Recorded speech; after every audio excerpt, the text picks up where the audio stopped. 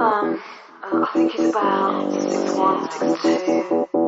He usually wears dark clothing. He's about six one, six two. He usually wears dark clothing.